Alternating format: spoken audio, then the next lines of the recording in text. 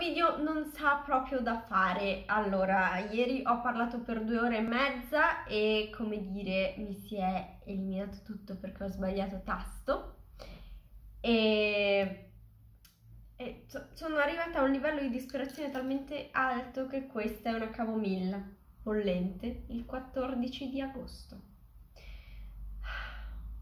Perché le cose non sono finite qua.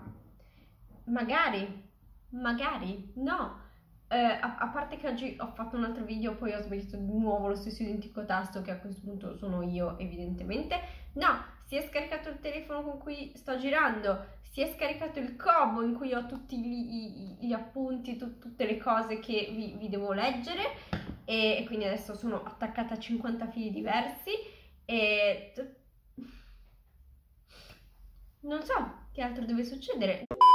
Beh, tra le altre cose che sono successe, stavo registrando l'audio col microfono questo qua, ma si è appena stoppato da solo, ha, non l'ha salvato, mi ha dato zero, quindi adesso io me lo tolgo e uso il microfono che c'è integrato nella telecamera perché tanti saluti, quindi si sentirà un po' peggio del solito, mi dispiace, ma io non lo giro per la terza volta tutto. Porca di quella vacca.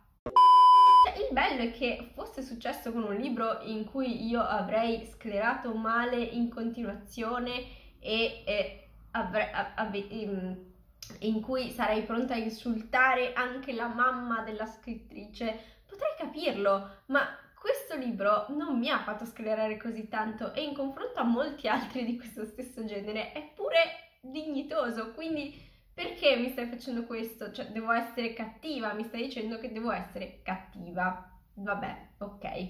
Ma eh, non perdiamoci perché questo video sarà lunghissimo, infatti oggi andiamo a vedere tutto sangue e cenere. Prima di cominciare vi ricordo che eh, qui sotto ci sono gli altri social in cui potete trovarmi e se non siete ancora iscritti a questo canale direi che a questo punto mi merito un'iscrizione e eh, mettete mi piace e commentate e fatemi sapere cosa ne pensate di questo libro e se vi diverte quanto ha divertito me.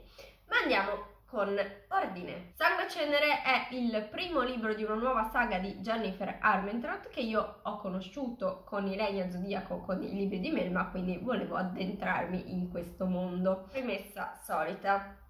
Se vi è piaciuto questo libro, se vi piacciono i libri di questa autrice, se vi piace questo genere di libri, questo video non vuole offendervi in alcun modo, è soltanto un video in leggerezza. E soprattutto mia confessione, io mi sono fatta prendere male da questo libro, il mio cervello è tornato a 12 anni e, e quindi voglio dire, sarei l'ultima persona al mondo per giudicare questo genere di libri perché in realtà mi piacciono, cioè con tutti i limiti che hanno e eh, per questo mi fanno ancora, cioè per questo quando non ho voglia di leggere niente vado a cercare libri così perché mi fanno ridere, mi fanno tornare adolescente. Quindi se volete insultarmi perché ho offeso la vostra scrittrice preferita, non fatelo, però se proprio non potete farne a meno, almeno siate creativi così mi diverto. Quindi siamo in un fantasy e ci sono i vampiri licantropi, anche se in questo libro non si chiamano assolutamente vampiri licantropi perché vogliono farci credere che siano altre cose, ma non è vero. E, ehm, e il, le regole di questo mondo sono dubbie in realtà, perché io ho cercato di mettere ordine ma non ce l'ho fatta. Ma visto che la protagonista ci fa un sacco di spiegoni nel primissimo capitolo, io direi che andiamo ad affrontare il primissimo capitolo insieme e ci metteremo un po' per... ho un'etichetta qui che mi dà fastidio. Dicevo, ci metteremo un po' ad affrontare questo primo capitolo perché eh, tra i tre avvenimenti in croce che succedono la protagonista ci fa una miriade di spiegoni perché eh, introdurre il mondo pian piano faceva brutto.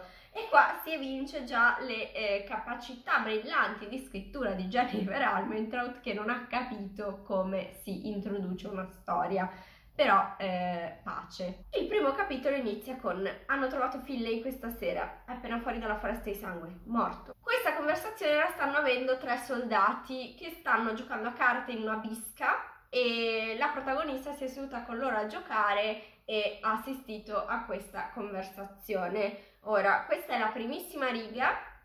Premetto che Phil è un soldato qualsiasi e non ci fregherà mai niente di lui e quindi il, cioè, fa ridere che il libro inizi proprio con lui. Sembra, le, le sembrava un bel modo di iniziare questo libro e conosciamo la protagonista che ci dice che lei si è seduta lì perché questi tre uomini non stavano, non le facevano percepire nulla. Perché? Di solito non indagavo per scoprire se qualcuno soffriva. Farlo senza una ragione mi sembrava terribilmente invadente, ma tra la folla era difficile controllare quanto concedevo a me stessa di percepire. Mi era proibito fare alcunché, salvo ignorarli. Non potevo parlare del dono concessomi dagli dei e mai e poi mai avrei potuto spingermi oltre le percezioni per fare effettivamente qualcosa in merito. In pratica la protagonista ci sta dicendo che ha un dono. Man mano che andiamo avanti scopriremo che questo dono si potrebbe semplicemente chiamare empatia, però se, se la chiamavo empatia era troppo brutto. In pratica lei può percepire il dolore altrui, che sia fisico ed emotivo, però ci sta dicendo che tra la folla non riesce a controllare il suo potere e quindi percepisce anche cose che non vorrebbe percepire, mentre di solito con una persona singola si deve ehm, concentrare per riuscire a percepirne le eh, emozioni. Ora, eh, lei ci sta dicendo sempre che si è avvicinata a questo tavolo ed è, si è seduta con loro perché queste tre persone non le eh, facevano percepire nulla. Il problema è che tu, cioè, lei è comunque nella stanza piena di gente, quindi se il problema era il fatto che la folla ti imponeva di percepire le percezioni di qualcuno perché erano tro- troppe tutte insieme da non sentire, allora c'è un problema perché tu sei comunque in una stanza piena di gente, non è che basta sedersi al tavolo con tre persone e allora non percepisci più niente, cioè il massimo allora che di conse- cioè, di, seguendo una logica tu potresti fare è concentrarti solamente su quelle persone così ignori tutto il resto, però se tu non ti stai concentrando su quelle tutto il resto dovrebbe piombarti addosso lo stesso, però Vabbè, ma perché seguiamo la logica qua? Fin dalle prime righe, quindi ci sta, la protagonista ci sta facendo capire che lei però eh, è una ragazza speciale perché ha questo dono concesso, concessogli dagli dee. Certo. Fin dalle prime righe, quindi ci sta facendo capire che lei è speciale perché ha questo dono concesso dagli dei e eh, dopo scopriremo che lei è la Vergine prescelta eh, spoiler, nessuno sa a che cosa serva davvero la Vergine prescelta. E praticamente c'è tutta questa religione secondo cui i, secondogeniti delle famiglie diventano ascesi, ovvero vengono benedetti dagli dei e diventano praticamente immortali. Quindi ehm, e si dice che la Vergine prescelta li salverà tutti, però veramente non c'è nessuna leggenda su di lei e non c'è nessun motivo per cui tu, tutti i mortali, tutti gli ascesi dovrebbero venerarla e aspettare che lei ascenda, o meglio, eh, gli ascesi dopo, cioè si capisce perché ehm, la, la, la trattino come una principessa, però non si capisce perché anche i mortali dovrebbero sostenere questa cosa della Vergine, non si capisce da cosa dovrebbe salvarli, perché appunto eh, ci si aspetterebbe almeno una leggenda che spiega perché stavano aspettando un prescelto. Non c'è, non c'è. Parlandoci di questi tre soldati con cui è seduta, ci fa lo spiegone su come funziona il loro mondo. Erano guardie provenienti dall'alzata, la muraglia rocciosa costruita con la pietra calcarea e ferro ricavati da miniere di picchi elisi, tutte cose che ci fregano nella prima pagina. Da quando era finita la guerra dei due re, quasi quattro secoli prima, l'alzata racchiudeva Macedonia nella sua interezza e ogni città all'interno del regno di Solis. Versioni più piccole avevano circondato villaggi e campi di addestramenti, comunità agricole e altre cittadine scarsamente popolate, quindi Immaginate ogni singolo centro abitato che è rinchiuso da delle mura. Fattibile direi, assolutamente fattibile. Come, come, cioè, io mi immagino le persone che lavoravano nell'edilizia che sono diventati nuovi ricconi perché a costruire tutte queste mura che poi non ci saranno più le montagne se dovrai se, se hai dovuto costruire tutte queste mura, ma poi come fa?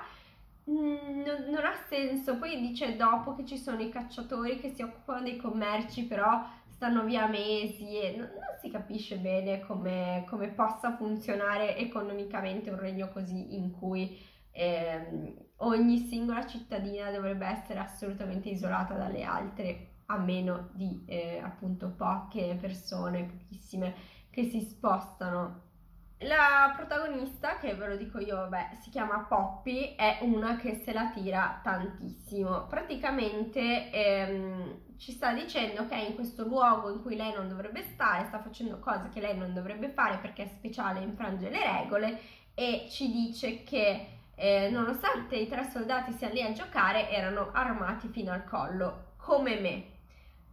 E suo, la sua definizione di essere armata fino al collo è avere un pugnale. Wow, un pugnale, quante cose che hai. Sentite come se la tira. Forse mi trovavo ancora sul punto di fare qualcosa di incredibilmente avventato, inappropriato e assolutamente proibito, ma non ero così sciocca da recarmi in un luogo come la Perla Rossa senza un'arma per proteggermi, la capacità di usarla e la prontezza di spirito per ricorrere a entrambe senza esitare. Ora, uno dirà, dove cavolo è andata a finire? Semplicemente, io prima l'ho chiamata Bisca, però in realtà è tipo un locale ah, super eh, alla moda evidentemente ehm, in cui la gente va a giocare a carte, va a bere, va a fare le zozzerie. Eh, si trovano in questo locale tanto i soldati, tanto le persone in attesa di ascendere o ehm, quindi nel, ci sono praticamente sia quelli che saranno la nobiltà sia i poveracci per strada, c'è di tutto, c'è, c'è il cameriere che eh, gira con lo champagne, il vassoio e poi però giocano a carte tre soldati semplici. Ma dove lo trovi un posto così? Poi non si capisce per quale motivo dovrebbe essere un posto così pericoloso se tanto nessuno sa chi sei. Eh, lì ci va gente di eh, ogni rango, quindi eh, si, si, può presupporre che non ci sia gente che si sgozza lì in, nella stanza e, e, appunto ci sono un sacco di sia eh, ragazze che lavorano lì sia lady in ascesa, quindi quelle che poi sa, saranno benedette agli dei e che sono eh, lady, non si sanno difendere, non sanno niente quindi non, si, non, è un posto pericoloso che lei deve farci vedere che è brava e che sa difendersi e che è una Wonder Woman, però eh, sono tutte cazzate. Comunque, passate due pagine, torniamo al nostro dialogo. Infatti, l'altra guardia chiede morto come eh, Finlay è morto, cioè sono passate veramente due pagine, io mi ero anche già dimenticata di questo dialogo, ma torniamo al povero Finlay che eh, sentiremo nominare adesso praticamente mai più.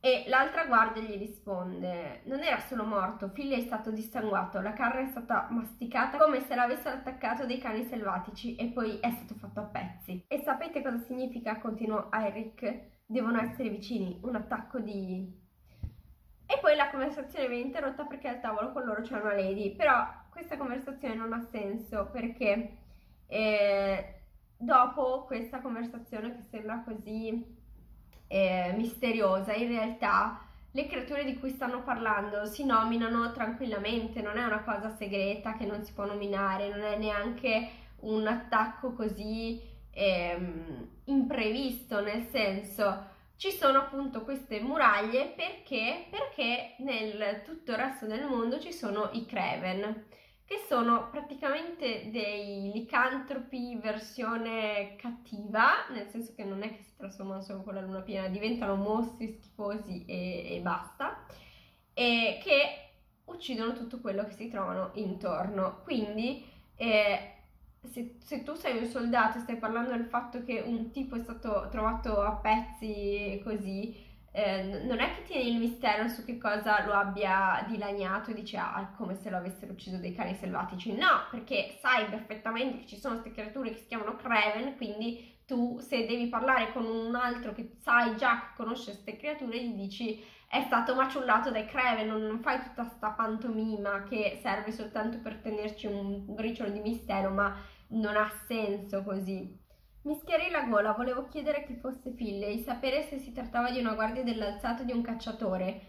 E qua altro spiegone perché evidentemente non sa scrivere, ovvero un membro della divisione dell'esercito che portava i dispacci tra città e scortava beni e viaggiatori. I cacciatori passavano metà dell'anno al di fuori della protezione dell'alzata. Era di gran lunga una delle occupazioni più pericolose, perciò non viaggiavano mai da soli e alcuni non facevano ritorno. Purtroppo alcuni di quelli che tornavano non erano più gli stessi, alle loro calcagna li seguiva la morte, che diffondeva incontrollata.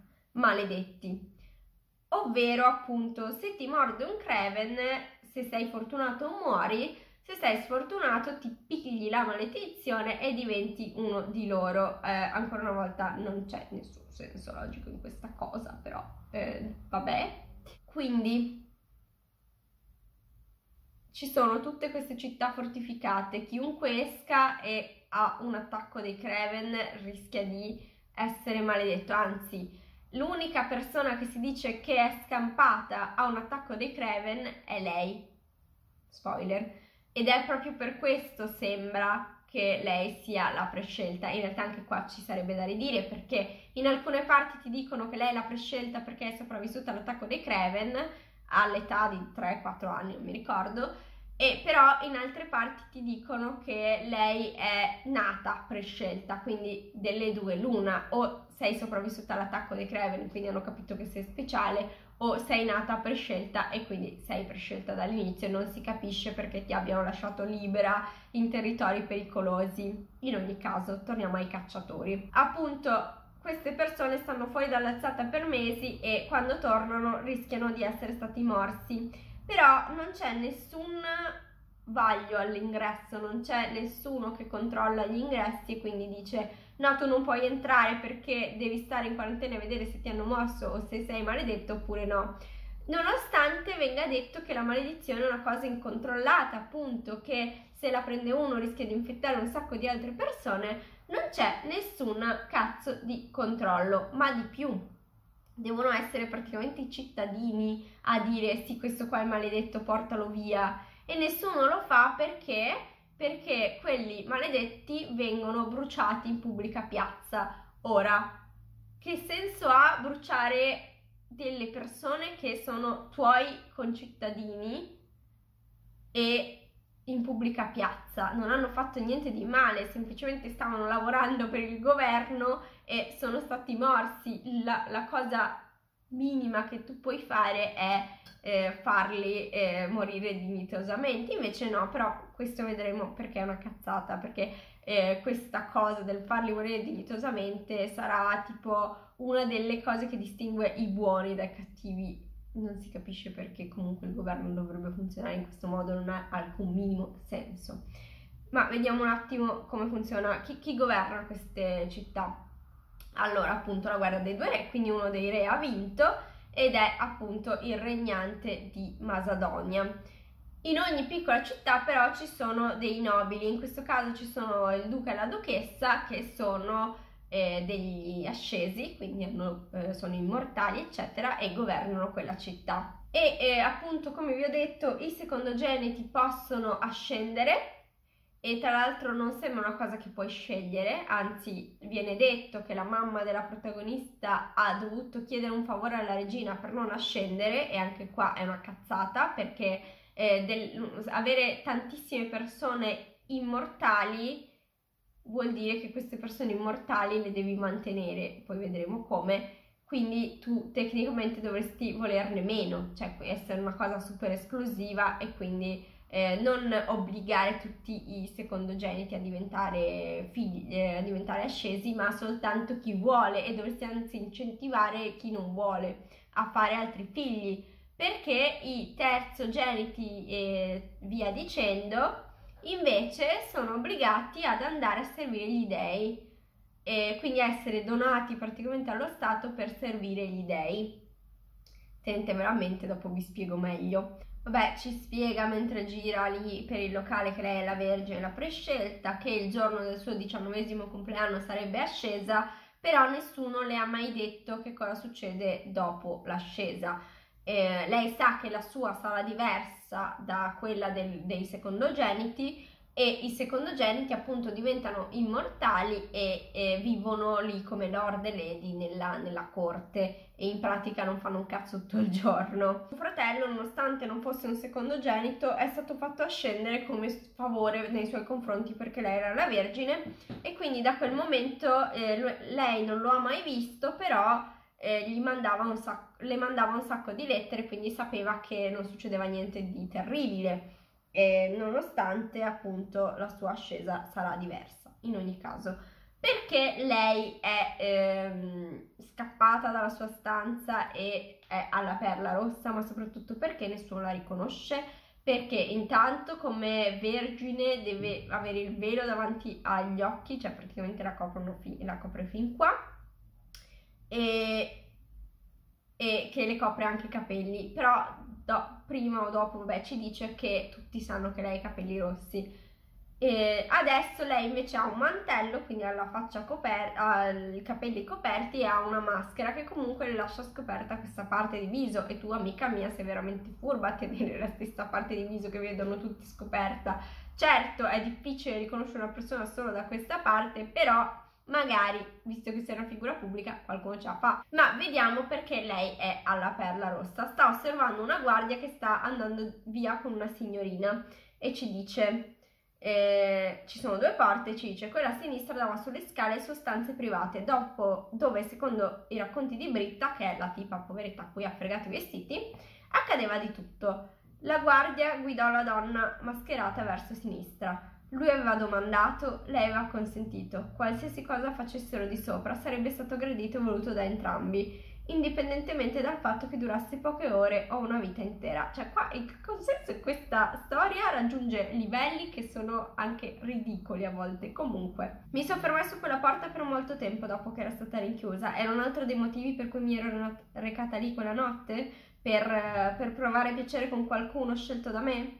Avrei potuto se lo avessi desiderato, ok? Cioè, eh, tenete a mente questa frase, avrei potuto se lo avessi desiderato, adesso io giro una sola pagina, che è tanto così però, anche se non sapevo bene come avrei potuto trovarmi in una situazione in cui quell'opzione fosse anche solo disponibile. Ma hai fatto la gradassa fino adesso, hai detto se avessi voluto, pot- cioè se, po- se, cazzo, se volessi potrei farlo. Quindi tu dovresti già, cioè nel senso, provaci con le persone, non fare la gradassa se poi alla fine sei praticamente la eh, ragazzina timida delle medie, cioè non raccontarcela. Vabbè, comunque ancora una volta tra questa scena in cui lei vede i tipi andare in camera e mh, mm, quello che succederà dopo ci sono altri spiegoni. Infatti ci dice che le, gli ascesi avevano delle guardie personali perché eh, pri- anni prima o comunque cap- capitava che ricevessero degli attentati per ottenere un riscatto. Intanto da chi? Perché, boh, perché dovete, che se ti frega di un lady o una lord in me- un lord in meno? Niente. E comunque, quanti attentati, quanti attentati e quante guardie vediamo insieme agli ascesi? Zero, mai una volta guarda ancora intorno e arriva a una stanza eh, chiusa da delle tende e sta per aprirle per entrare e una donna dai, dai capelli neri le si avvicina e dice non credo che tu voglia andare lì. E lei con i suoi occhioni innocenti la guarda e chiede perché no, stanno solo ballando. Solo ballando. Lo sguardo della donna si posò sulla tenda alle mie spalle. Alcuni dicono che danzare è come fare l'amore. Tipo, ok, beh, amica, sei andata alla Perla Rossa per un motivo, evidentemente ti sei stufata di fare la vergine di sto cazzo, è la tua occasione, entra in quelle, in quelle tende, no? Ehm, vabbè, comunque lei si, ci rimane perché evidentemente vuole dirlo ma non lo vuole fare. E quindi la donna fa un sorrisetto e dice, ah, prima volta, eh? E lei dice, no, perché cosa te lo fa credere? E la donna continua dicendo, ah, è la prima volta che la Vergine viene alla perla rossa, quindi è stata sgamata in tre secondi. E Poppy si fa venire l'ansia perché ha paura che lo, lo vada a dire al duca per avere il favore di, degli ascesi, ma la donna le dice, no, a me non frega niente di avere il favore degli ascesi, cioè frega cazzi. E lei ci rimane male, ci rimane male non solo perché la donna ha capito che lei è la vergine, tra l'altro dice che potrebbe essere una sensitiva e quindi questo fa presupporre che altre persone abbiano poteri all'interno di questo libro. Nessuno ha poteri all'interno di questo libro, ok? E, ehm, in ogni caso ci rimane male perché le uniche persone a non volere il favore degli ascesi sono i caduti, ovvero quelli che stanno dalla parte del re sconfitto nella guerra dei due re e, ehm, e che credono che il principe Castle sia il legittimo erede al trono. Il principe Castle è anche conosciuto come l'oscuro, quindi è un cattivone eh, che eh, fa parte del regno sconfitto di Atlantia e eh, ed è proprio l'oscuro che comanda i Kreven e i Kreven sono stati creati la prima volta dagli Atlantiani. Quindi lei ci rimane male perché pensa di avere davanti una traditrice del suo popolo. Tra l'altro cerca di sentire le sue percezioni per capire se effettivamente potesse essere una caduta, però non prova dolore, quindi lei dice "Eh, ma se non prova dolore è quello che ti spinge a fare queste cose, quindi no, non è vero, non è che devi soffrire per essere un, una traditrice, cioè magari credi in altri valori, però vabbè, arriviamo al dunque davvero. Ehm, Cosina si guarda intorno e vede Victor, che è la sua guardia privata, praticamente suo padre, cioè non, non è veramente suo padre, però il rapporto è quello, e quindi ha l'ansia perché potrebbe essere beccata. E la, la, donna che sta ancora parlando con lei gli dice guarda vai di sopra nella prima stanza, entra, è vuota, puoi aspettare lì. Quindi lei va su, si, si fida, va su, tempo di mettere piede in, uh, nella stanza e viene afferrata da uno eh, che le dice tipo all'orecchio questo non me l'aspettavo. Dire che in questo libro ha poco del bad boy, cioè eh, non la tratta mai male, si preoccupa della sua incolumità non in maniera eh, da padre padrone, ma eh, soltanto, cioè da persona quasi normale alla fine. Ha soltanto qualche picco da padre padrone verso la fine, ma perché lei è diventata veramente insopportabile e eh, lo capisco.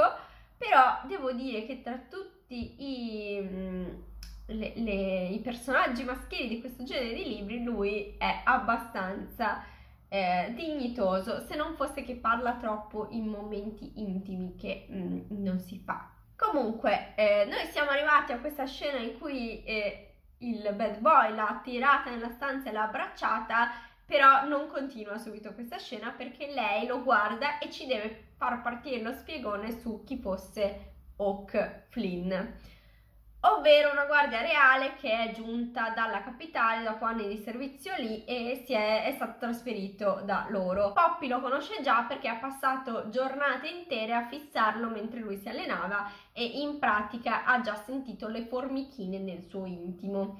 Però eh, ovviamente lui ha, è figo, ha i capelli neri, è, gli addominali, è, tutta la fossetta sulla guancia e ha gli occhi di colore miele freddo. Cosa vuol dire miele freddo? Niente. E inoltre ci fa sapere che Hawk soffriva sempre e che quindi nascondeva qualcosa nel suo intimo e, e non si vedeva da fuori, però due frasi prima ci ha detto che eh, lei poteva percepire le sofferenze delle persone, ma non erano cose che si potevano vedere da fuori, no? Quindi, eh, cioè, ci stai dicendo la stessa cosa non è una cosa che rende Hawk speciale se lo fanno tutti. Lui le salta praticamente addosso, la, la, la, inizia a limonare perché crede che lei sia Britta, che evidentemente era una sua amante. Lei si scosse e dice no, no, no, non sono io, lasciami in pace. No, lei ci sta, lei ci sta, staissimo perché evidentemente ha risolto il problema della timidezza. Solo che lui arriva a un certo punto e si stacca cioè lei sta già sentendo le farfalle nello stomaco, le cose, le, cioè ha già il fiatone, è già tutto a posto. Cioè, lei si sta facendo le pare perché, oh mio Dio, il mio primo bacio, eh? Lui si stacca e le dice, senza dubbio non sei chi credevo che fossi. Come te ne sei accorto, sbottai? Perché l'ultima volta che ho baciato la proprietaria di questo mantello mi ha quasi risucchiato la lingua e lei tipo pensa avrei dovuto farlo anch'io, non sembrava piacevole. Esatto. Vabbè, comunque lui le chiede chi sia, lei non glielo vuole dire e eh, lui invece continua a chiederle perché non mi hai fermato e, e lei continua a non rispondere. Tra l'altro, mentre fanno tutta questa conversazione, non è che si sono alzati e si sono rimessi a sedere, sono uno sopra l'altro, cioè un sandwich praticamente, continuano a parlare così.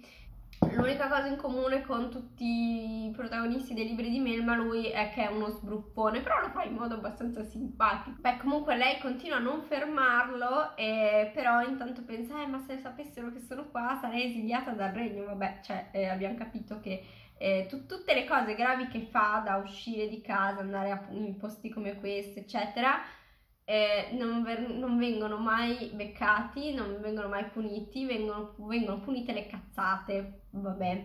Appunto ci viene detto che lei è importante, lei è speciale, lei è tutto, però poi alla fine quando è da tenere veramente sotto controllo nessuno lo fa mai. In ogni caso loro continuano a pomiciare, lui la stoccaccia e fa robe, il problema è che quando è tanto così da toglierle tutto il vestito bussa, eh, come si chiama? Kir, Ker, tipo Kiran, Kiran che lo vedremo in realtà nel finale ma è un'altra guardia mandata sempre dalla capitale insieme a Hawk quindi eh, Kir- Kiran lo obbliga a uscire. Io veramente, conoscendo il finale, non ho idea del perché lo obblighi a uscire, non ha proprio il minimo senso. E, ehm, e quindi Oak la lascia lì dicendo torno subito, resta qua. Lei si fa venire la scaga e se ne va. Torniamo al palazzo e conosciamo la sua ancella, ovvero Tony che sembra Tony così, che non so come cacchio si legga, si legge, si, cioè è scritto Tavni, però Tony, to, boh. Ehm, per, per, un secondo vi posso concedere di dirmi come si pronuncia sto cazzo di nome. Fa alcune scorribande con lei e visto che la sera precedente era andata a cercarla ma lei non c'era, le chiede dove fosse e quindi le confessa di essere andata alla Perla Nera, però non dice assolutamente di, ehm, di, di Hawk, di cosa stava per fare. E tra l'altro dice, mi ero svegliata in preda a una bizzarra frustrazione che si, che si era trasformata in un dolore al petto e al basso ventre. Chissà da cosa è dovuta! Poi lei è un po' complottista perché tipo appunto, vabbè, Tony è sua amica perché è obbligata ad essere la sua ancella, però mi sembra palese che se avesse voluto denunciare qualcosa l'avrebbe già fatto, ma soprattutto che eh, sei 24 ore al giorno praticamente a contatto con questa persona, è ovvio che un po' ti vuole bene. Invece lei, conti- cioè è proprio ovvio, si, si capisce da come si comporta. Invece lei fa la paranoica per niente.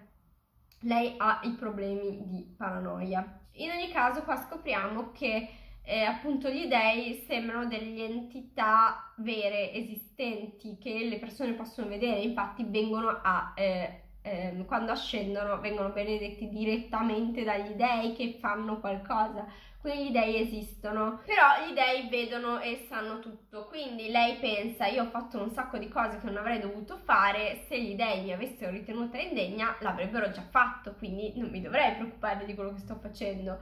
E va bene.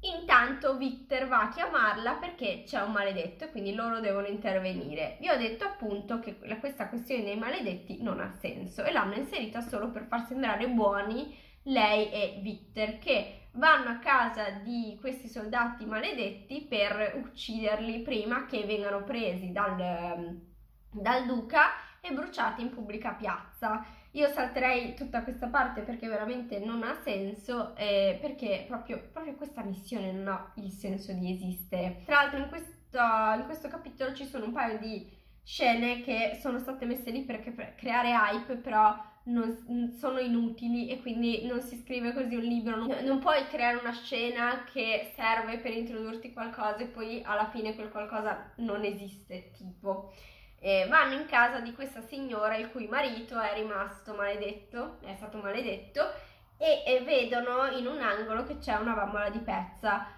Quindi pensano, reagiscono con una gravità estrema pensando, andando nel panico perché pensano che la bambina in realtà sia stata maledetta e che la madre la stia nascondendo per non ucciderla.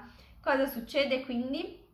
Chiedono alla madre di questa bambina dov'è la figlia e lei dice no l'ho portata da un'altra famiglia perché essendo in casa mio marito che è maledetto non volevo che vedesse. Fine non indagano, non chiedono di vedere la figlia, tutto a posto.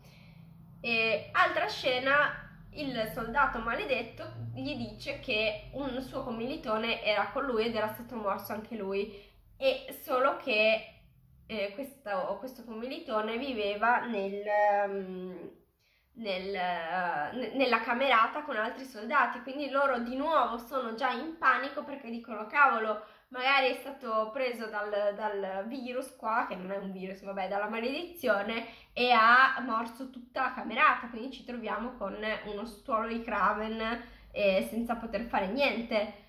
Vanno a casa del padre di questo secondo soldato perché hanno scoperto che era passato da lì e la scena finisce con il padre che gli dice no no l'ho ucciso io, fine, non controllano, non fanno niente, non guardano niente, che io dico ma non è una cosa pericolosissima, dovresti accertarti al mille per mille che quello che stanno dicendo è vero. Invece no, quindi vabbè, tutta... poi tra l'altro lei si mostra alla moglie del, del soldato che sta per morire e poi non vuole però che si sappia che la Vergine è in città e che ha un tocco magico perché lei tocca la moglie del, del soldato e, e, così facendo può tipo instillarle dei sentimenti positivi che andranno a spegnere il dolore che prova. Cioè, tu sei scema, è ovvio che la voce si sparge, cioè è già impossibile che il duca non lo sappia, però non lo sa. Boh, Vabbè, lei come vergine ha un sacco di regole, il problema è che non si capisce da chi dovrebbero essere fatte rispettare queste regole nel senso che lei non può parlare tecnicamente con gli altri in pubblico. Quindi se una persona le si avvicina e inizia a parlarle, lei non può dire ehi amico io non posso parlarti, dovrebbe tecnicamente essere o la sua guardia o la sua ancella a dire all'altro la Vergine non può parlare e portarla via. Invece no, nessuno si prende la briga di fare queste cose però quella che, che viene punita per il suo comportamento è sempre lei. Non, non ha senso sta cosa. In particolare, il giorno dopo questa missione per uccidere il maledetto, eh, l'altra sua guardia, che si chiama Rylan, la porta a fare una passeggiata perché lei può fare una passeggiata al giorno, tipo. E stanno eh, passando per il corridoio e un lord, che è Lord Mason, le si avvicina, le si avvicina e le dice devo parlarti in privato. E tipo, sono la Vergine, non posso allontanarmi con un uomo così. E, e no, lui si impone e lei deve andare con lui. La sua guardia del corpo è lì come un pesce lesto e non fa niente. E lui la porta tipo in una in un posto privato e praticamente cioè, la, la palpeggia, la tocca, ma che cazzo vuoi? E fa il viscido ter- terribile. E eh, tra l'altro le dice ehm, lei cerca di svicolare quindi dice no mio signore devo andare stai con me. E, e lui dice mi sento insultato. Ed è una frase uguale a quella che aveva detto Hawk a lei. Quindi tutto ciò fa supporre che Lord Mason sia venuto a sapere che lei era la perla rossa e che era con uno e quindi che la sta per uh, denunciare al duca. Invece no, invece no, questa scena non avrà nessun seguito, zero, zero, perché metterla? Perché metterla? Tra l'altro dopo lei viene salvata dal fatto che dal piano di sotto si sentano un sacco di urla, quindi corrono al piano di sotto. E che cosa c'è? Una povera lady in attesa, quindi una di quelle che poi dovrà scendere, che è stata uccisa in, in un salone e lasciata lì col collo spezzato, le gonne spostate con due segni sul collo e già qua a pagina 50 neanche siamo a, abbiamo capito che si tratta di vampiri.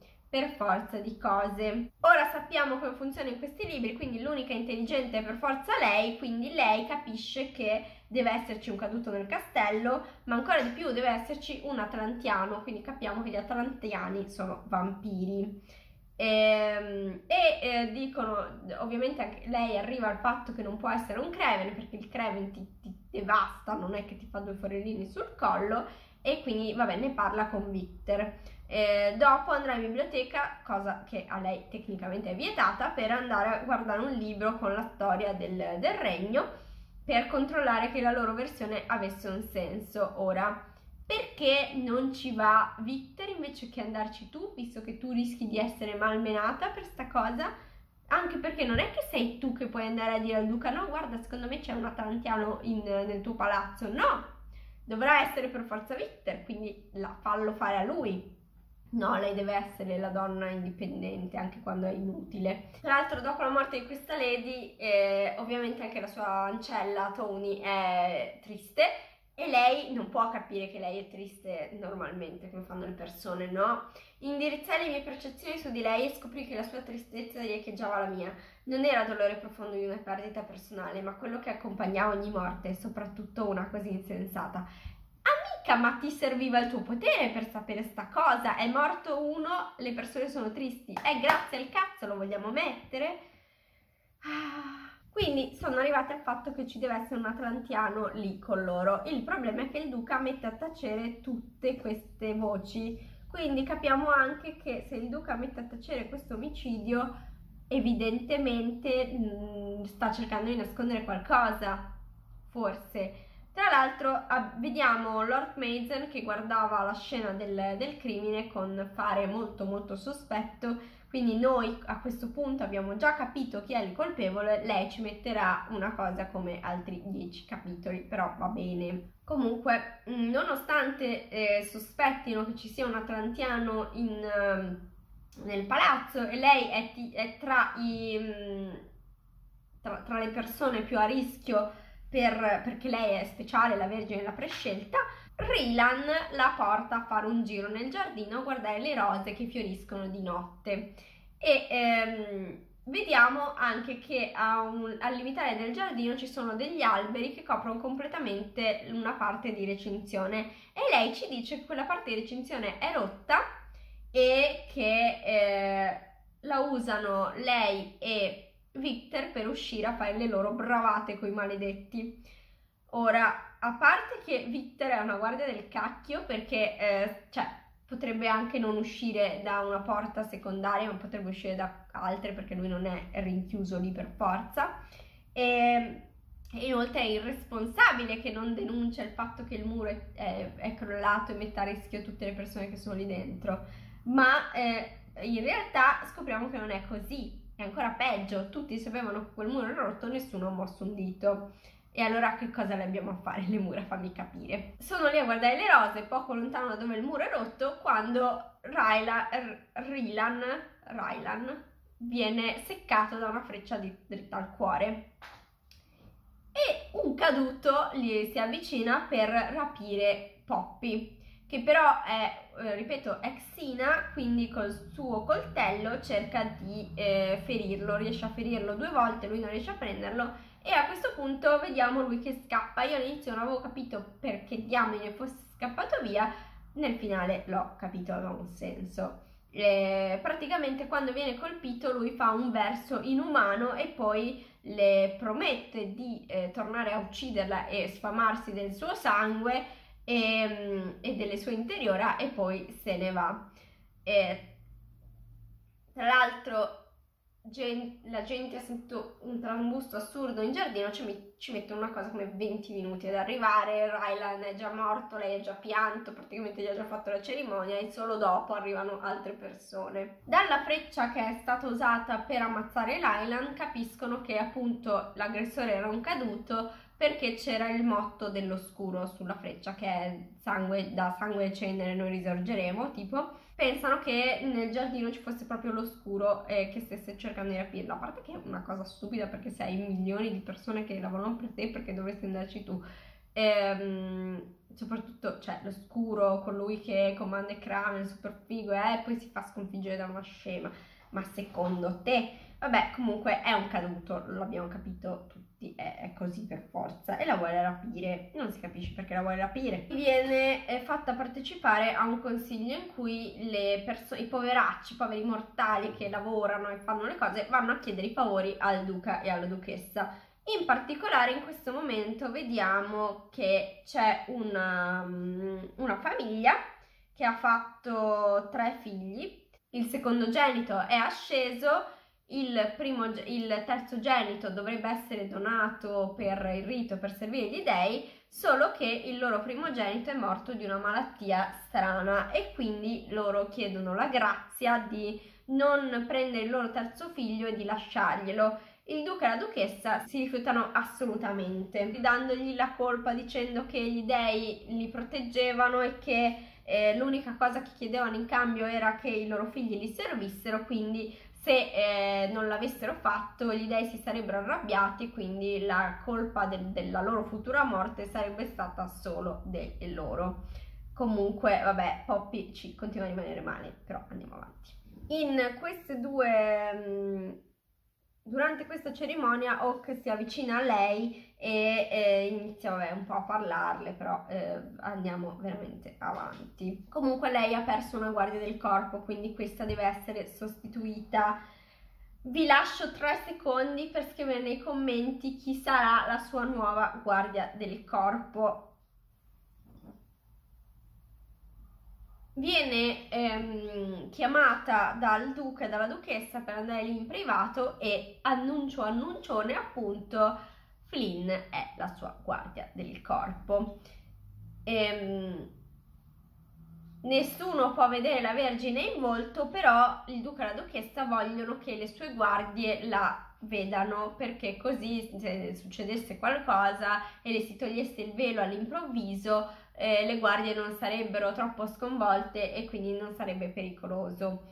E perché questo? Perché lei ha il viso sfregiato dagli, eh, dai graffi di un craven, quindi ha tipo qua tutto fino al naso mm, le cicatrici e, ehm, e quindi eh, le, le, dicono che deve togliersi il velo davanti a Hawk. E lei tipo porcaccia loca adesso capisce che sono io e mi denuncia e sono rovinata. Lei si toglie il velo il duca che è solito fare dei complimenti alquanto sgradevoli sul suo viso eh, rovinato gli dice, dice a Hawk ah è veramente bella peccato che metà del viso sia rovinato e Hawk la guarda e le dice no, la, um, e dice al duca no, è bellissima appunto. E il duca la prende ancora in giro, in giro vabbè, e finalmente presta giuramento, però invece che dirle vergine sono a sua disposizione per, per la vita, morirò per salvarti, eh, dice eh, il giuramento è eh, lo fa in, come gli pare a lui.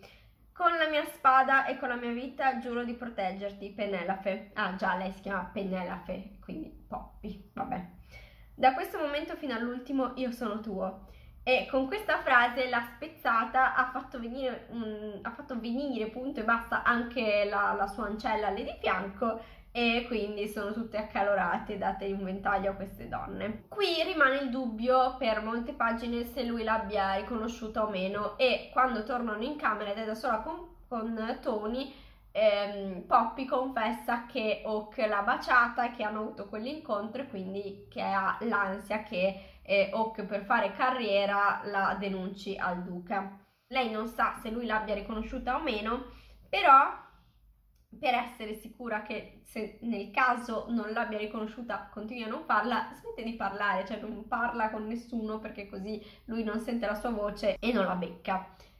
Altra scena assurda, in pratica, visto che lui è un figo, un sacco di lady in attesa vanno da, da loro per attirare l'attenzione di lui. Quindi lei che tecnicamente dovrebbe stare isolata e non dovrebbe parlare con nessuno, si ritrova a tavola con due lady in attesa che fanno, i, cioè a parte gossipare, eh, fingono di svenire, fanno cadere le cose così che lui gliele raccolga, una scena veramente trash. Nessuno dice niente a queste due lady e lei dopodiché viene chiamata dal duca perché la deve punire, perché ha parlato con queste lady che non doveva farlo, perché è troppo intima con la sua ancella, perché aveva risposto male alla sacerdotessa che tecnicamente dovrebbe insegnarle appunto la religione qua del, della storia del regno e, e quindi niente, la prende a rannellate letteralmente davanti anche a Lord Mason e quindi capiamo che sono dei viscidi bastardi. Uscita da questo... Um, uscita da questa punizione, per fortuna a eh, prenderla è andato Vitter perché non vuole che Hawk capisca che cosa le facciano. Un motivo? Non lo so. Lei ha un sacco di lividi nella schiena che eh, Tony deve, deve, curare, quindi in pratica dorme per due giorni perché non riesce neanche ad alzarsi e alla, um, deve ancora guarire quando i Kraven attaccano. E um, c'è da dire che nonostante ci sono scene in cui ci viene montata una cosa e poi non la vediamo mai, perlomeno gli attacchi dei Kraven ci dicono che ci sono e effettivamente ce li fanno vedere, quindi poi la motivazione per cui ce li fanno vedere è imbarazzante, però almeno ce li fanno vedere. E quindi lei vede che sulle alzate iniziano a spegnersi le fiaccole, quindi sta arrivando questa nebbia che porta i Creven. Non c'è una logica secondo cui la, mm, la trappola, cioè la nebbia dovrebbe... Ho detto trappola, ho detto nebbia, vabbè non c'è nessuna motivazione logica per cui la nebbia dovrebbe portare i Craven, cioè non sono collegate le due cose, proprio non, non ha un senso, però vabbè. Arriva questa nebbia e lei invece che a scappare con la sua damigella eh, si prepara a combattere, va sull'alzata. E come viene spiegata la sua assenza dalle stanze della duchessa dove i nobili vanno a nascondersi per la loro salvezza?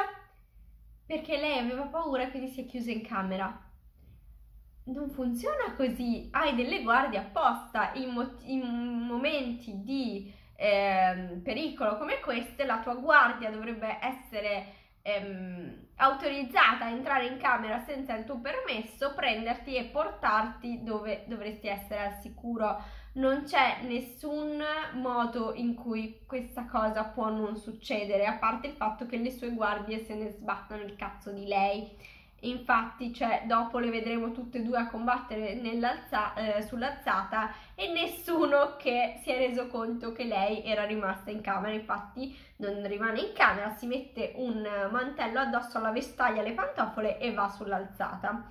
Eh, non si sa come nessun soldato la vede e riesce a prendere un arco perché giustamente quando uno viene attaccato le armi sono lanciate lì per terra e nessuno le sta usando a mettersi su uno dei bastioni e a lanciare frecce a uccidere qualche Creven.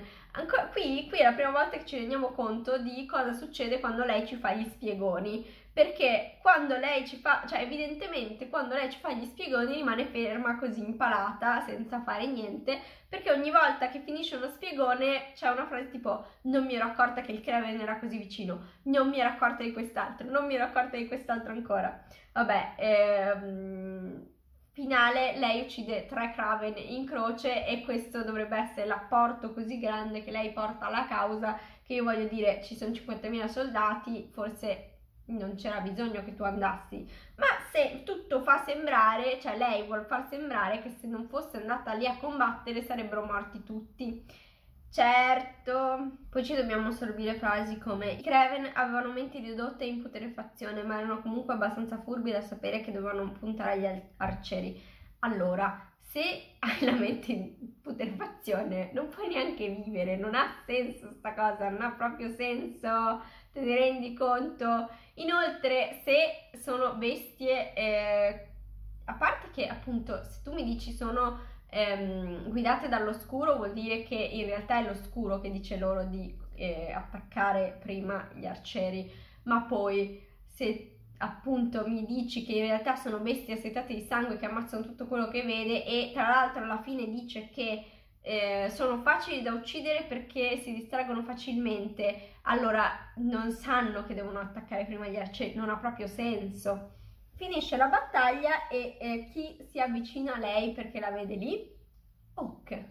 Cerca di scappare e lui la blocca e lei gli lancia un pugnale in faccia e um, lui lo schiva, però la cosa divertente è che questo pugnale che lui ha schivato dopo lei ce lo avrà di nuovo in tasca e non si capisce come l'abbia procurato. Comunque, fatto sta che lui la blocca e la mette tipo al muro, cioè la, la, si, si, si addossa lei al muro e visto che lei ha usato il suo pugnale contro di lui, ehm, lui la riconosce, però dice di riconoscerla come la principessa che aveva incontrato la perla rossa. Infatti, per tutto il tempo lui l'ha chiamata principessa, anche se lei gli ha detto di no. Tra l'altro, lei gli ha detto di no perché il termine principessa viene usato eh, solamente per identificare il principe Castle, quindi il regno sconfitto. E quindi noi abbiamo già capito dal primo capitolo praticamente che Hawk chi sarà mai? Chi sarà mai? Boh. Fatto sta, vabbè, appunto, Hawk dice di riconoscerla come la ragazza della perla rossa e gli chiede che cosa ci faccia lì. E qua parte il momento soft porn perché si strusciano, si stuzzicano così e lì eh, nessuno arriva, nessuna guardia arriva, ok? E lui praticamente se l'è presa perché lei se n'è andata via e non l'ha aspettato, cioè che, che ridere, veramente che ridere.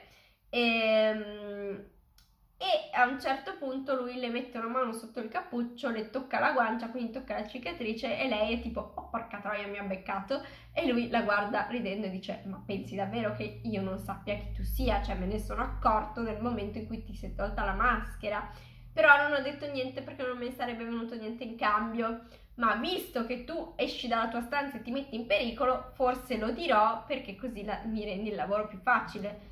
E, ehm, quindi praticamente dopo la lascia andare eh, facendole promettere di non fare più cose stupide così e le dice che continueranno il discorso in camera. E quindi noi che abbiamo il cervello in pappa sec- dal secondo capitolo spero, spera che sia quel discorso a proseguire in camera, invece assolutamente no. Da qui partono scene inutili, tipo lei che gli racconta che cosa è successo con eh, suo fratello e i suoi genitori, però ehm, Hawk questa cosa l'aveva già detta a Victor e lei non aggiunge assolutamente niente, però dopo il racconto dice ecco adesso sai tutto, non hai aggiunto assolutamente niente, sapeva tutto già prima in breve eh, i suoi genitori si erano sposati per amore, stavano scappando perché mm, volevano una vita più tranquilla, cioè stavano scappando, Vole- sono andati via dalla capitale perché volevano una vita più tranquilla, sono ritrovati in un villaggio a essere attaccati dai Creven e a essere uccisi malamente.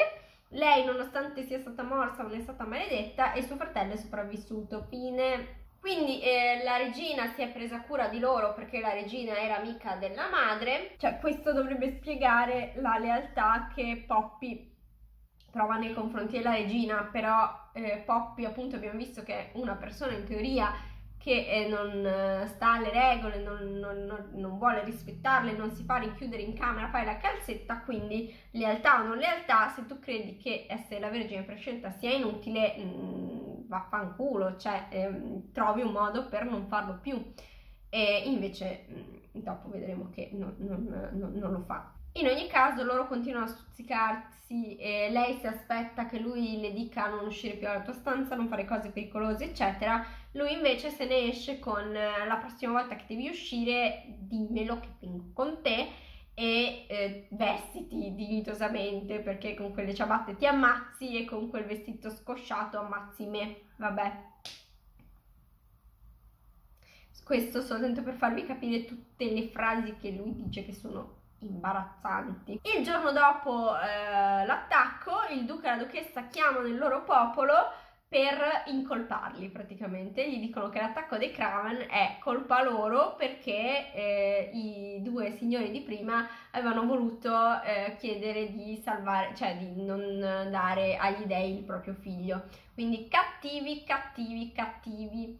E ehm, a questa cerimonia un caduto fa il suo ingresso urlando e lancia una mano di Creven contro la, la, Vergine e appunto l'uomo dice che quello che stanno dicendo il duca e la duchessa sono solo menzogne, che non fanno niente per proteggerli, in ogni caso viene portato in cella e tanti saluti. E qua iniziano a farsi delle domande sul perché il, i capi, cioè quindi i nobili, non facciano vedere alle famiglie i figli, visto che sarebbero tutti molto più calmi se potessero rivedere i figli qualche tempo. Eh, vi lascio da soli a mettere insieme i pezzi perché è abbastanza ovvio alla fine fanno sti pargoli. Andiamo al momento clou, ovvero il rito. Eh, io all'inizio pensavo che il rito e l'ascensione fossero la stessa cosa, in realtà il rito è il momento in cui i genitori portano i loro bambini tredicenni perché vengano portati agli dei. È tra le cerimonie più importanti, partecipano tutte in maschera e in pratica dopo che i genitori hanno consegnato i propri riti, le lady e i lord si danno la pazza gioia. Eh, ok. E, um, essendo un avvenimento così importante, il duca ovviamente dovrebbe partecipare, ma quella sera stranamente è in ritardo, in grave ritardo e non arriva mai alla cerimonia. Però il tutto si svolge, va avanti e in pratica se ne fottono che il duca sia assente. La dama di compagnia di Poppy ovviamente sta sempre di fianco a lei, solo che Poppy si sente in colpa perché lei non ha tutte le restri- restrizioni, infatti anche se eh, Poppy può partecipare alla festa, eh, può mettersi un vestito normale e una maschera come tutti gli altri, però comunque non deve parlare con le altre persone. Poppy invece, ehm, to- Tony invece potrebbe. Quindi a un certo punto Poppy dice no guarda sono stanca, tu vai a divertirti, io torno nei, nei miei alloggi. Ehm, la sta in quel momento guardando Hawk perché Victor doveva parlare col comandante, quindi eh, Hawk la porta fuori dalla stanza, poi le dice guarda lo so che non vuoi tornare a, a, nella tua stanza, andiamo nei giardini, facciamo un giro lì. E la porta sotto un salice lontano da tutti e, e insomma limonano male, limonano proprio male e uno pensa che eh, da lì a trovarsi in mutande il passo sia breve e invece poco dopo Hawk le dice di eh, tornare nella propria stanza, porca troia. Ehm, stanno, per, stanno tornando indietro quando si ritrovano faccia a faccia con Victor che li guarda per tre secondi e capisce che i due avevano fatto robacce e, e li sgrida, sostanzialmente li sgrida. Lei tipo con nonchalance dice non è successo nulla Victor e lui le risponde che questa cosa è tra le cose più imbarazzanti del mondo.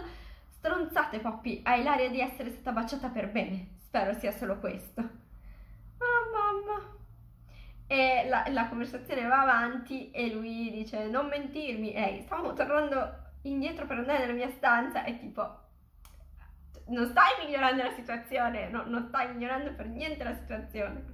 Manda via Hawk, la sta per riportare in camera quando si sentono delle grida e tornano nella sala principale e vedono che c'è praticamente una sfilata di caduti che eh, stanno protestando e le vetrate vengono fatte esplodere, mm, ci sono un sacco di morti, ci sono un sacco di scene creepy con schegge di vetro che spuntano da ogni orifizio e da ogni poro della pelle. E ehm, l'altro entrati vedono che il soffitto è semicrollato e che è appeso al soffitto con la verga conficcata nel cuore c'è proprio il duca. Tra l'altro la verga è proprio la verga che il duca usava per picchiare Cosina e quindi scopriamo che è stato ammazzato. Le guardie della duchessa e Victor portano eh, la duchessa e gli altri nobili al sicuro. La duchessa non si sa per quale motivo si impone per rimanere chiusa in una stanza dove però vengono attaccati tre secondi dopo nello scontro Victor rimane ucciso, eh, Poppy che ovviamente vuole difendersi tira fuori il pugnale e eh, inizia ad ammazzare mm, Creven, credo a questo punto, non mi ricordo chi gli stia attaccando, ma poco importa. E, ehm, e con loro c'è anche eh, Lord Mason Quando praticamente la battaglia sta per finire, finire Lord Mason dice una cosa di troppo e ehm, Poppy lo gli stacca la testa, le braccia, qualsiasi cosa cioè, avesse attaccata al corpo, finché non arriva Hawk e la, la, ferma, le impedisce di fare qualsiasi cosa e la porta via perché ormai l'attacco è finito e hanno rimesso tutto in pace. Cosina rimane praticamente svenuta per giorni e pian piano si riprende e una volta tornata all'umanità la duchessa le dice che la regina l'ha chiamata immediatamente nella capitale perché rimanere lì è troppo pericoloso.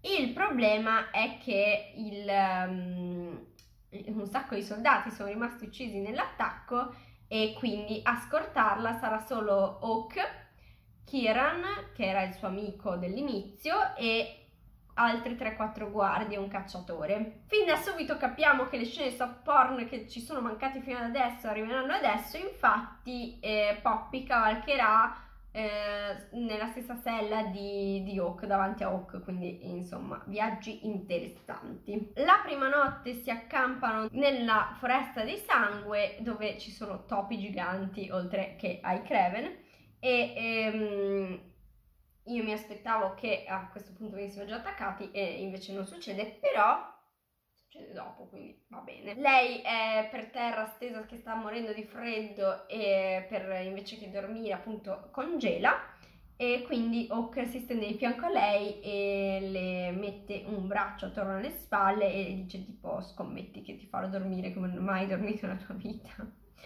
e insomma le fa le cosacce. Quando si sveglia vede Hawk che sta parlando con Kiran e lui eh, gli, gli, dice palesemente tipo ehi ma guarda che ho visto quello che hai fatto, eh, ti, ti, ricordi che abbiamo una missione, quindi mh, mm, cioè eh, si potrebbe pensare che sia per il fatto che lei è una vergine, però è abbastanza palese che loro abbiano una missione per conto loro che eh, è iniziata da un sacco di tempo. Comunque, passiamo avanti veloce, qua vengono attaccati dai Kraven e dai, dai, dai, cosi giganti, dai ratti giganti, però a noi non importa, andiamo avanti.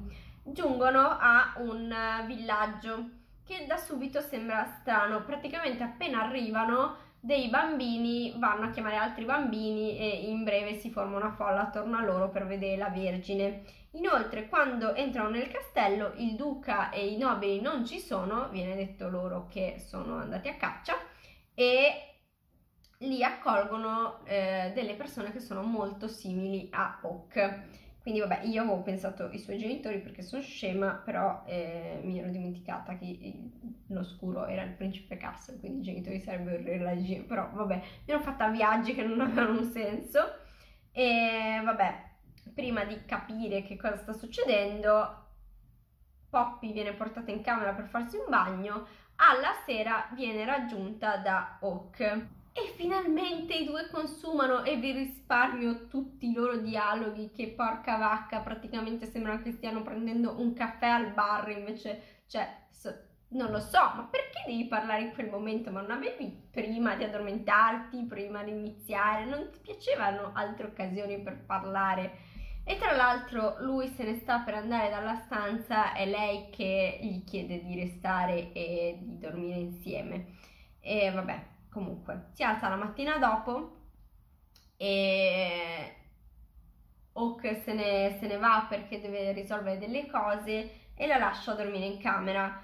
Poche ore dopo eh, a raggiungerla è Philip, che è un altro dei soldati che la stava accompagnare che la stava, che la stava accompagnando e le dice che secondo lui Kirker e Hawk nascondono qualcosa perché quel posto è strano e bla bla bla.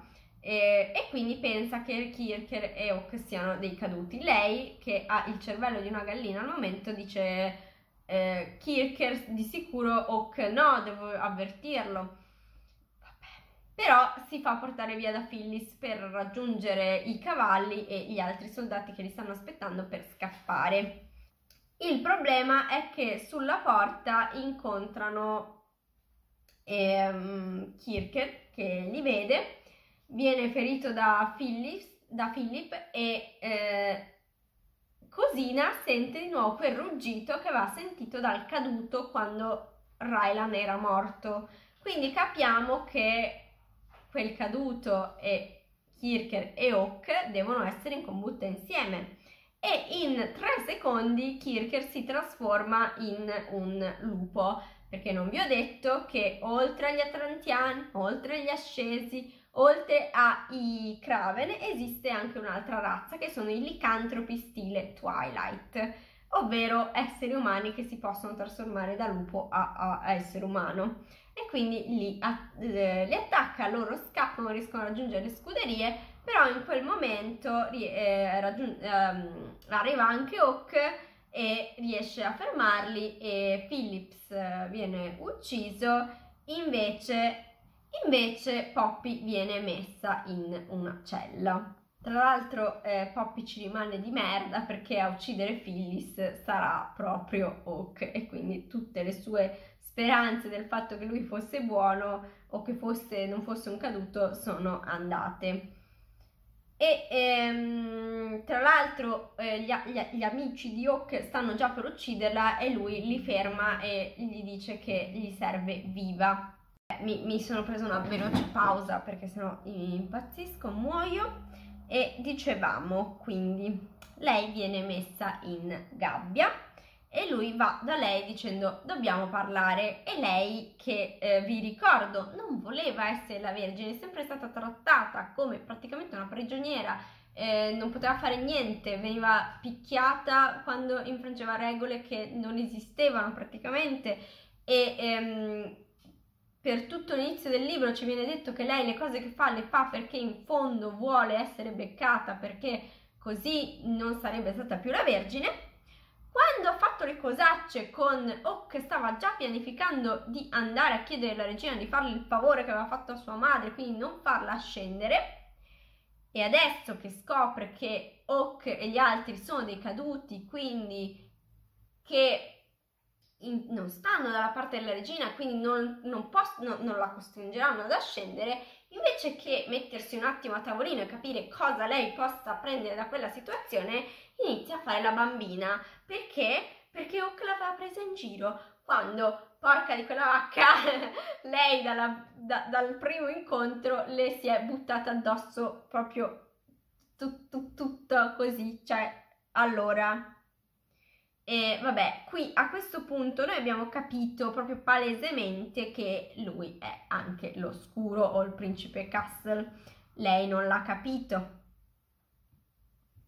anche perché lo, gli altri vogliono ucciderla e mandare la testa alla regina come messaggio, lui invece si è imposto che la vuole tenere con sé, nonostante debba affrontare delle rivolte facendo così. Vabbè, prima della spiegazione ci viene detto che eh, lui alla notte della perla rossa sapeva già chi lei fosse, che fosse stata mandata in camera apposta perché si incontrassero, però questa è una cazzata, proprio ti sei dimenticata quello che hai scritto perché lei era la perla rossa perché era scappata dalla stanza, quindi l'unica persona che sapeva questa cosa eh, forse era Tony, ma neanche, cioè l'unica che poteva spiarla e dare questa informazione era lei, però lei non ci viene detto che fa parte di questa, di, di questa scorribanda e non sembra proprio, però ci, sono, ci saranno altri libri, quindi nel caso poi eh, si scopre che Tony era d'accordo con tutto questo ha un senso, altrimenti non ha senso che loro fossero già d'accordo perché eh, la mandassero da lui alla perla rossa, in ogni caso. Hook gli racconta la verità sulla guerra dei due re e su tutto il regno. Cosina scopre anche a questo punto che Hawk è un atlantiano. Scopriamo la vera storia, ovvero eh, Hawk confessa che i Craven sono stati un loro errore, però in realtà, cioè, n- non è stato un loro errore. In ogni caso, c'era questo re che si chiama Malek, che aveva un amante mortale di cui era follemente innamorato. Eh, non si sa se la moglie del re o qualcun altro comunque l'ha avvelenata, quindi Re Malek se n'è fregato il cazzo delle regole e ha deciso di donarle il suo sangue e trasformarla in quella che ehm, gli, i, i, protagonisti di questo libro chiamano ascesi. In realtà eh, si chiamano vampri, già, vampri. Vampri, scrive vampiro, faceva troppo brutto. Quindi, visto che eh, si potevano creare questi vampri, la regina, quella cornuta, eh, ha mh, mm, deciso che, di togliere la regola che li vietava e hanno iniziato a crearne sempre di più. E il problema è che i vampiri si devono nutrire di sangue umano e se non ammazzano male la vittima creano dei Kraven quindi è colpa loro se ci sono i Kraven. Invece i, i, gli Atlantiani nascono mortali, poi però a un certo punto, a una certa età, avviene la transizione e diventano immortali. E solo che i vampiri, ehm, solo, che gli asce- eh, solo che gli Atlantiani non hanno bisogno di sangue umano perché eh, a loro non farebbe niente, loro hanno bisogno di altro sangue eh, atlantiano, quindi se lo scambiano tra loro sono a posto. Invece i vampiri eh, rischiano di diventare assetati di sangue, eccetera, eccetera. La regina, quella che è un cervo reale più che una regina, riesce a esiliare il re con la sua nuova compagna Vampri e si risposa e crea il regno di Solis, che è quello in cui vive Cosina. E quindi fanno credere a tutti che eh, sono gli dei a trasformare le persone in ascese e invece si scopre che gli atlantiani sono tenuti prigionieri per creare altri ascesi. Come abbiamo detto, gli ascesi però devono bere sangue e come fanno? Fanno che prendono i terzogeniti o quel che è e li mangiano. E, ehm, e ehm, Hawk gli spiega anche che lui era stato prigioniero per 500 anni e che faceva la fine di un arancio uno spremiagrumi e veniva usato per creare altri ascesi. Ah, e inoltre gli ascesi, i duchi, le, du- le duchesse, eccetera, e il re e la regina usano i Kraven per tenere a bada la popolazione. E appunto questa spiegazione è assolutamente logica e ehm, se, n- non priva di senso, ma lei assolutamente non ci vuole credere.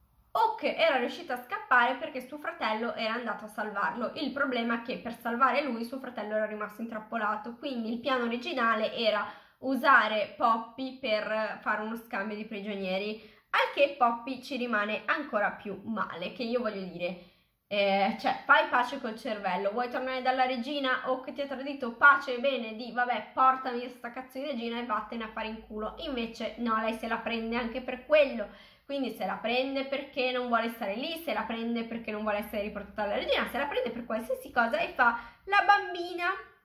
In ogni caso si capisce, è chiaro come il sole, che Hawk ci tenga a lei, ovvero, cioè in realtà è il principe Castle a questo punto ci tiene a lei e quindi la fa riportare in una stanza eh, più comoda invece che la cella.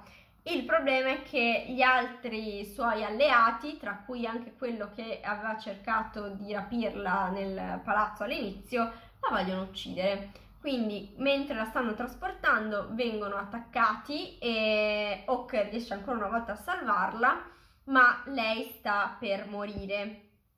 E quindi Hawk la porta in camera e le dà il suo sangue. A questo punto noi ci aspettiamo che si trasformi in una vampire e invece non succede perché ehm, non per la scoperta che faremo dopo, ma perché eh, Oak dice che deve avere un, un, ruolo più attivo lui, però se hai detto che per uh, trasformare gli ascesi prendono il sangue da poveri disgraziati tenuti lì in prigione e glielo danno, cosa vuol dire un ruolo più attivo? Basta il sangue, cioè gliel'hai dato, buona, vabbè, non lo so. In ogni caso lei non muore, il sangue di lui in circolazione la fa eh, arrapare come neanche un cervo nella stagione degli amori, ma lui non vuole approfittarne. E, ehm, appena lei si riprende, ehm, gli, vede un coltello appoggiato lì di fianco a Hawk, gli salta addosso e glielo pianta nel cuore e poi scappa. Però scopriamo che non si, non si uccidono così gli atlantiani. Lui la insegue nei boschi, la eh, blocca e le beve il sangue incazzato nero. E qua lui si riprende, quindi se lui si è ripreso col sangue di lei, noi abbiamo capito che lei è Esatto, è un'atlantiana perché se eh, mi hai detto tre pagine fa che il sangue dei mortali agli atlantiani non serve a niente, vuol dire che se tu sei guarito col sangue di lei e lei è guarito col tuo senza trasformarsi in una vampri, questo vuol dire che siete entrambi atlantiani. Lei però non l'ha capito. E fatto sta che qua fuori lei di nuovo gli ci si butta addosso, cioè lui, lui non stava facendo niente, lei comunque, cioè le, fanno le cose, fanno le cose anche qua fuori al gelo perché lei evidentemente non sa tenersela dove, cioè non è abbastanza arrabbiata, cioè non so che altro dire. E quindi uno dice ok dai hai fatto un attimo pace con te stesso hai pensato con te stessa hai pensato a quello che ti ha detto ha un senso starai dalla sua parte adesso, starai dalla sua cazzo di parte perché è l'unica parte che ha un senso ed è l'unico che non ti tratta come un cazzo di... Ehm, cioè è, è, palese che non la, non la fa uccidere, che eh, forse non la vuole neanche portare come scambio di ostaggi, cioè è veramente palese lei che non ci arriva e qua parte la... ovviamente lui la riporta in camera e lei se la prende di nuovo con lui e cerca di fare ostruzionismo per ogni cosa e cerca un piano per scappare, però capiamo che sono solo parole al vento. E dopodiché lui va con lei e dire devi venire a cena con me. Lei fa no e lui tipo sì, però avrai fame, devi mangiare, vieni a cena con me, anche perché se vieni a cena con me gli altri pazzi che vogliono ucciderti vedono che mm, sei con me se la fanno un attimo passare. E ah, PS, ho ucciso tutti quelli che ci hanno provato fino ad adesso. Vieni a vedere cosa ho fatto. Comunque, lei quando lui dice questa frase, ovvero devi far vedere che sei con me così smetto di provare a ucciderti, pensa come se fosse un suo pensiero spontaneo, eh, forse è meglio che mi faccia vedere con lui così poi posso scappare meglio. Ma perché devi scappare? Ti puoi mettere d'accordo con lui? Voglio dire, ok, non ti ha detto la verità, però alla fine ti ha portato via da una situazione in cui tu non volevi stare, non ti ha fatto del male, gli sei saltato addosso tu 50 volte. Puoi parlarci e fin- smettere di fingere di avercela con lui? Vabbè, la porta a cena davanti alla stanza del, della, dalla, della, sala da pranzo, no? Ci sono tutte le persone che l'hanno hanno cercato di uccidere appese, mezze morte. E lei ci rimane un po' così, però eh, dopo dice: Eh, no, dovrei sentirmi in colpa, ma non mi sento in colpa perché mi hanno trattato male, quindi posto, pace e bene. E lui a tavola eh, la fa sedere alla sua destra e dopo dice a voce altissima, tipo ehm, dobbiamo tornare a casa e lei lo guarda non capendo, dice casa quale? Mi riporti a Macedonia, mi porti nella capitale della regina, dove stiamo andando? Fammi capire. E lui dice no, ad Atlantia e, e lei non è casa mia e, cioè, e, e lei dice perché? E lui, questa è la cosa più romantica che esiste al mondo, le dice perché è, è, noto che gli atlantiani per sposarsi devono essere nel proprio regno. E il libro finisce così, cioè praticamente lui le dice che si stanno per sposare e che lei è un'atlantiana con questa frase, fine, Fine. Il libro finisce così, con questo colpo di scena e con eh, questo suspense. E chissà cosa succederà nel prossimo libro, non lo scopriremo mai perché non mi interessa abbastanza. E con tutti i problemi tecnici che ci sono stati in questo video, se non siete arrivati fin qua e se non andate a lasciare un mi piace, io vi vengo a cercare a casa. Madonna che fatica, comunque mi dispiace davvero per l'audio, però si trattava di rigirare il video per la terza volta, questo è un libro trash, quindi anche se l'audio non è il massimo, fate finta che sia tutto compensato, no? Con, cioè sia tutto insieme perché il libro è trash che l'audio fa schifo.